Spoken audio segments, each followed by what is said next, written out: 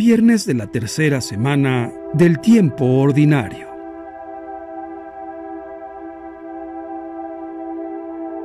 Evangelio y lecturas del día viernes 27 de enero del 2023.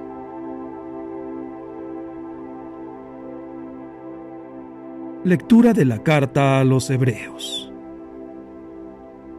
Hermanos, recuerden aquellos primeros días en que, recién iluminados por el bautismo, tuvieron ustedes que afrontar duros y dolorosos combates. Unas veces fueron expuestos públicamente a los insultos y tormentos, otras compartieron los sufrimientos de los hermanos que eran maltratados. Se compadecieron de los que estaban en la cárcel y aceptaron con alegría que los despojaran de sus propios bienes, sabiendo ustedes que están en posesión de otros, mejores y perdurables.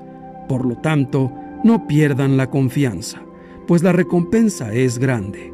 Lo que ahora necesitan es la perseverancia, para que, cumpliendo la voluntad de Dios, alcancen lo prometido. Atiendan a lo que dice la Escritura. Pronto, muy pronto, el que ha de venir vendrá y no tardará, y mi justo, si permanece fiel, vivirá, pero si desconfía, dejará de agradarme. Ahora bien, nosotros no somos de los que desconfían y perecen, sino hombres de fe, destinados a salvarnos. Palabra de Dios. Te alabamos, Señor. Salmo 36 la salvación del justo es el Señor. Pon tu esperanza en Dios, practica el bien y vivirás tranquilo en esta tierra. Busca en Él tu alegría y te dará el Señor cuanto deseas. La salvación del justo es el Señor. Pon tu vida en las manos del Señor, en Él confía, y hará que tu virtud y tus derechos brillen igual que el sol de mediodía.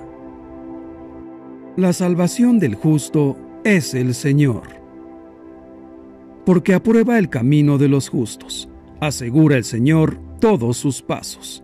No quedarán por tierra cuando caigan, porque el Señor los tiene de su mano.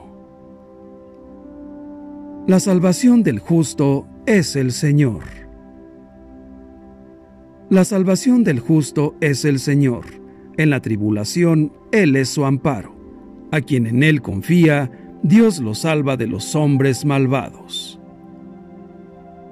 La salvación del justo es el Señor. Evangelio. Lectura del Santo Evangelio según San Marcos, capítulo 4, versículos del 26 al 34. En aquel tiempo Jesús dijo a la multitud, El reino de Dios se parece a lo que sucede cuando un hombre siembra la semilla en la tierra, que pasan las noches y los días, y sin que él sepa cómo, la semilla germina y crece, y la tierra, por sí sola, va produciendo el fruto. Primero los tallos, luego las espigas, y después los granos en las espigas. Y cuando ya están maduros los granos, el hombre echa mano de la hoz, pues ha llegado el tiempo de la cosecha. Les dijo también, ¿con qué compararemos el reino de Dios? ¿Con qué parábola lo podremos representar? Es como una semilla de mostaza, que, cuando se siembra, es la más pequeña de las semillas, pero una vez sembrada, crece y se convierte en el mayor de los arbustos y echa ramas tan grandes que los pájaros pueden anidar a su sombra. Y con otras muchas parábolas semejantes les estuvo exponiendo su mensaje, de acuerdo con lo que ellos podían entender. Y no les hablaba sino en parábolas, pero a sus discípulos les explicaba todo en privado. Palabra del Señor. Gloria a ti, Señor Jesús.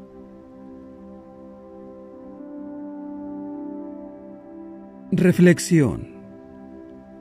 La parábola de la semilla que crece por sí misma, junto con la del granito de mostaza, ponen en evidencia que el reino de Dios tiene una íntima fuerza interior. Este dinamismo madurador ha de ser humilde y gozosamente reconocido por cada uno de nosotros. En los orígenes de nuestra salvación no es un proyecto nuestro lo que más cuenta, sino la insondable e imprescindible gracia de Dios, que normalmente alcanza sus metas valiéndose de medios pobres y, por lo mismo, absolutamente insuficientes. Jesús nos presenta cómo es que crece el reino. Nos deja ver que no es nuestro esfuerzo el que hace crecer el reino, sino la fuerza y la vida que ya está en él.